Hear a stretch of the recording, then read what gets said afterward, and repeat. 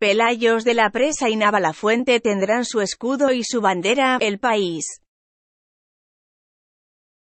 Los ayuntamientos de Pelayos de la Presa, 1.113 habitantes, y Navalafuente, 386 vecinos podrán izar por fin en sus balcones la bandera municipal y el escudo tras obtener la autorización definitiva por el Consejo de Gobierno de la comunidad. El modelo ahora aceptado ha sido diseñado por un historiador de la localidad.